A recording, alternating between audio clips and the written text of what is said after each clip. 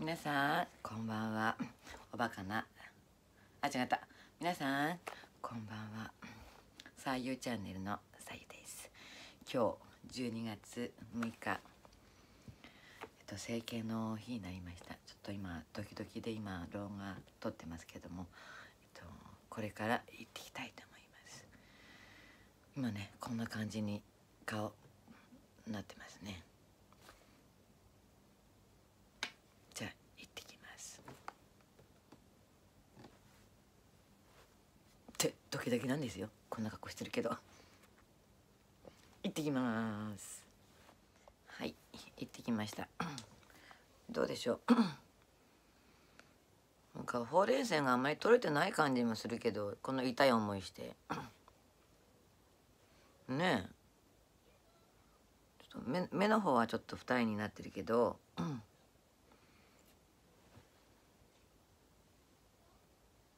でも手術のねあの写真ちょっと撮ってきたんですけどビデオがねちょっとね回せなかったんですね。でビデオを回そうと思ったら「あのこれやってくださいあれやってください」なんて言われて、うん、置けないみたいな感じで、うん、ただ写真だけ撮ったので写真だけちょっと貼っときますね。病院でこれから手術します、うん、でこれ線を描きましたみたいな。ちょっとこれ辺ちょっと裸なんですけどね。写真置いときます。どうでしょうね。なんかこの辺もこの辺がもうパンパンなの。ここもパンパンで。でこの辺ちょっとこの辺もうまだ髪の毛でバリバリなんですけどね。この辺がね。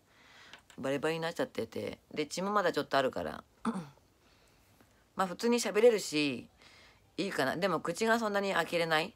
ああってやるともうここら辺がちょっと痛い感じ。ここもちょっと目がもう帰ってきた時にえっと12時半から始まって終わったのが目覚めて起こされたのが2時ちょっと過ぎぐらいかな。で目30分このここのリフトアップが30分で1時間ぐらいって言われたんですね。なんかこの辺からもうパンパンみたいな感じでまず1日目股間パプシ痛いですね。で目のこの麻酔する時のこの注射1本2本ぐらいすんのかな？まぶたに1本2本でひっくり返してひっくり返したところにも注射するのそれが痛い先生痛いですって言ってみんなねまぶたの裏は痛いのよ。痛いんだからねって言われて。これだけだからって言ったけど縫う時もやっぱしなんかこうひっつられてて痛いんだけどみたいな。痛いっていうかなんか違和感の痛痛みなんかそんな感じ、うん、こんなこっちは青くなってないのね。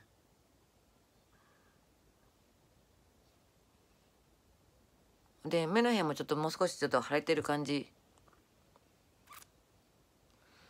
そうなんかエイリアンみたいな感じ。最初ねあの写真写したんだけどすごいこのこっちが腫れてるでしょ？こっちがこんなっちゃってて こっちこうなってるからなこんな感じになって写ってんの？へえみたいな。こんな感じで写ってんの？はい痛いみたいな感じで写ってますからね。びっくりしないでくださいね。もう初めての整形。まあ初めてですよね。で少しねほれもう腫れてるからちょっとちょっとこうなるって言った。ちょっとこうなるって感じ。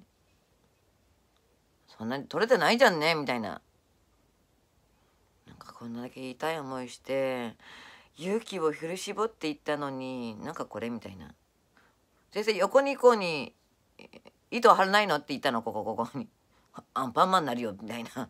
横にも張らないみたい。本当に斜めにこうに入れていく感じ。何本も。ここ痛いでしょここ。痛いの。こっち側も痛いの。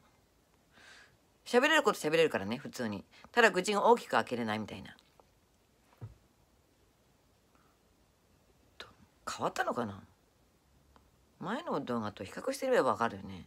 なんかあんまり取れてないよねほうれい線ほうれい線取りに行ったのに取れてないみたいな。まあ腫れが引いてからどんななるかね。ちょっと今日1日目。明日また2日目で。